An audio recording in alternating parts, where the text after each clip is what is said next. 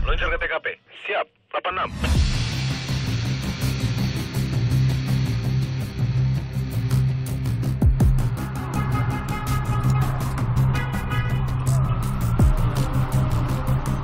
Hari ini kita ada giat untuk melakukan penangkapan terhadap pelaku pengedar. Sebelum berangkat ke TKP itu saya sudah bagi tugas ke tim. Kita rencana trans itu akan transaksi dan nanti anggota yang akan transaksi di eh, daerah kebun jeruk.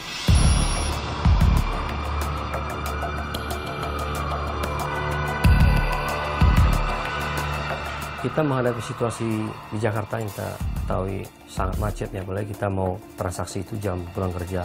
Biasanya para pelaku itu kalau nunggu terlalu lama, dia udah tidak mau melayani. Makanya kita upayakan menggunakan kendaraan roda 2.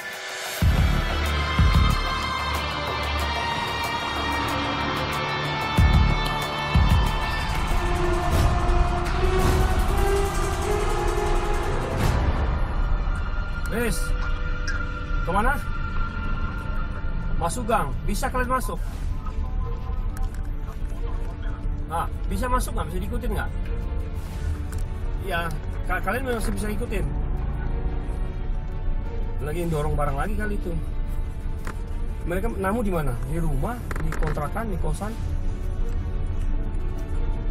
Ah, gini, pelajari dua gang, satu gang itu. Dia akan terus atau akan balik. Kalian bagi dua. Setelah transaksi, kita tidak langsung hantam karena kalau kita hantam langsung itu akan hanya itu yang kita dapat. Setelah transaksi, kita ikutin dia mampir ke satu kosan.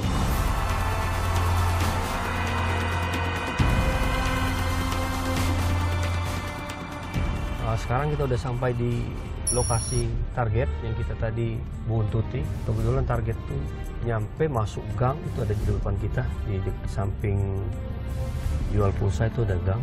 Ini masuk ke dalam sekitar ada 30 meter ya.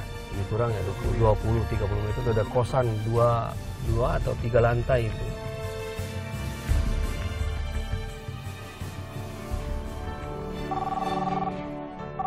Kenapa nak? Diskon apa? Tadi kakak dikerjain ada ya ulang tahun. Terus kakak mau ganti baju nggak? Oh bawa. Oh ya udah. Ya, sayang ya. Apa? Oh oke oke oke. Ya, Nana ya. Assalamualaikum. Saya lupa ulang tahun hari ini. Saya cukup sedih ya, anak saya ulang tahun, kemudian minta hadiah gitu. Dia cerita tadi ulang tahunnya dikerjain temen-temennya katanya. Udah udah ganti baju, dia dikagetin adiknya lagi di rumah. Disiram air. Eh, bagi saya anak adalah segala-galanya. Namun karena saya tidak bisa hadir di ulang tahunnya, namun demikian ya karena tugas ya malam itu tetap belum bisa pulang.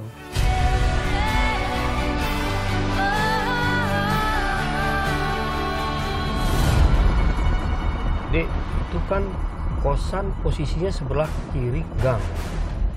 Ente coba lidik, tapi jangan masuk gang depan kosan ini. Coba dilidik ke arah sana, sepanjang sepanjang badan kosan itu ada jalan nggak di belakang? Kalau kita lengah, namanya pemain bisa saya dikabur ke belakang. Itu kan kosannya kelihatan di gedungnya, nggak tembus buntu ya ya udah aman berarti oke oke oke. Kita waktu itu tunggu sekitar satu setengah jam. Karena satu setengah jam tidak keluar dan kita lihat bahwa motor diparkir di dalam dengan kondisi yang layak kita katakan untuk parkir tidak untuk pergi lagi. Sehingga kita putuskan untuk mencari tahu ke gedung itu sebenarnya dia ada di mana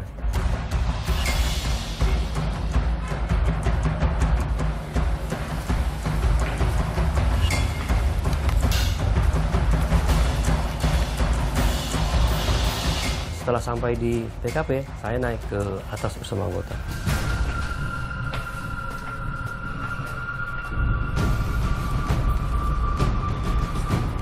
Anggota saya lapor ke saya, eh, target pakai topi, baju biru, sendal jepit agak hitam.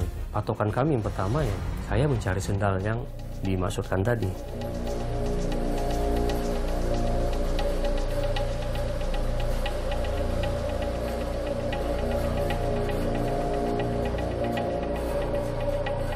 Setelah mengetahui itu sendalnya, kita akhirnya butuh waktu juga untuk menunggu.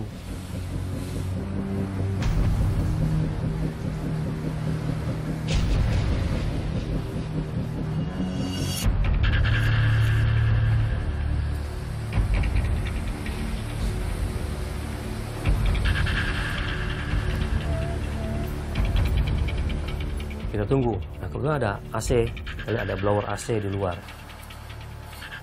Saya katakan dengan anggota, coba satu orang ke eh, blower out- outdoornya yang di atas, dicabut kabel listriknya, mati AC-nya.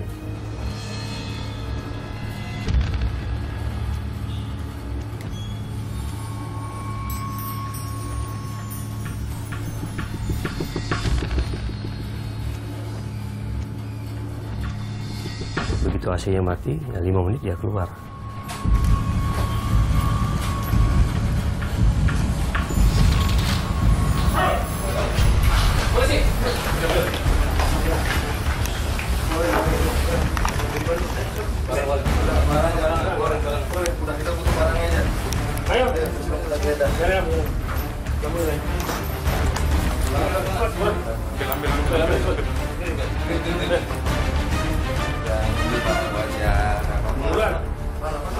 Buka, ambil.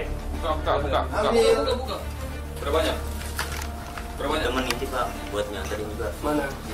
Sisanya mana sisanya? Mana, mana lagi, mana lagi? Mana lagi, mana lagi? Semua terus.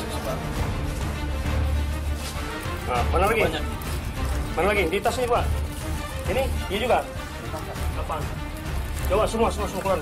Kita temukan barang bukti saat itu sekitar 10 gram sabu. Berapa gram semua? Yang lu terima? Ini 10 gram. Mana lagi? Lu nyabu ya? Lu nyabu? Eh, itu. Itu bukan saya, saya enggak. Habis sekarang enggak dia kemarin om tapi Siapa? saya. Iya. Nggak apa-apa, ngaku Iya, aja. itu Itu enggak. rokok-rokok tuh rokok semua. Cuma pusaka bang, bukan. Pusaka mau apa juga mana boleh. Celurit pusaka. Dari mana?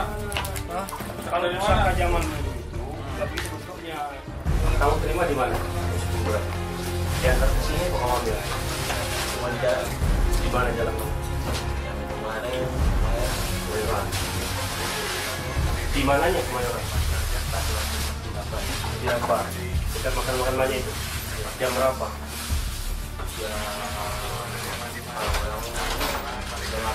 Setelah kita interogasi, ada beberapa keterangan yang kita dapat.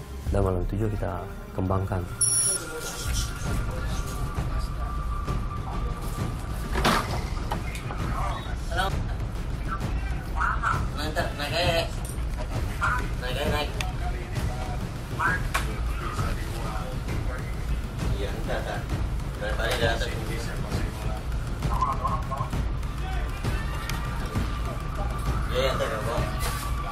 Temennya mau datang, ternyata itu mau pesan.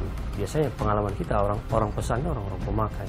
Nah malam itu ada datang dua orang, tapi karena pagar dikunci ya kita jemput di bawah.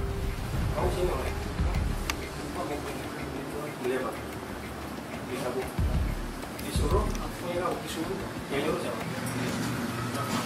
Eh, kamu Kadangkala dia mesan itu tidak hanya untuk beli saat itu, tapi dia juga sudah ada barang bukti sebelumnya. Ini uang pribadi. Teman, satuan. Satu orang berapa? Kakak beli dua doang tuh dia temennya? Sudah ini beli ini. Ya, Mas? Temennya, temannya dia.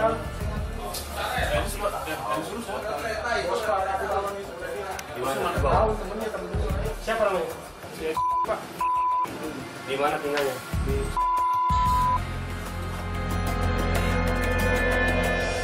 Ternyata memang yang datang pemakai-pemakai berat.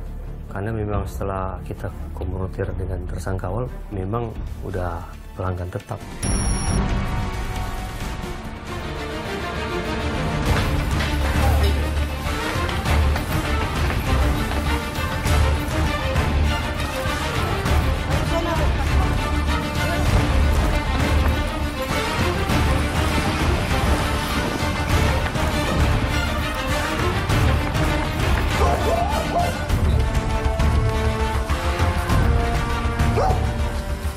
Itu dia kita katakan bahwa orang-orang Pemalang itu sensitif.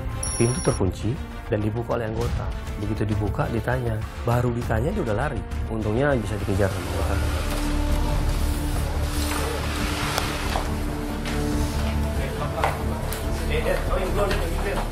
Yang kami lakukan untuk memberantas narkoba ini tidak semata kita ngembang tuh ke atas. Kalau hanya monoton ke atas, biasanya kalau sudah ketahuan di tangga tuh bocor terus dan tidak akan bisa diteruskan lagi. Jadi keempat tersangka itu setelah kita interogasi, kita sinkronkan keterangan, malam itu juga kita lakukan pengembangan.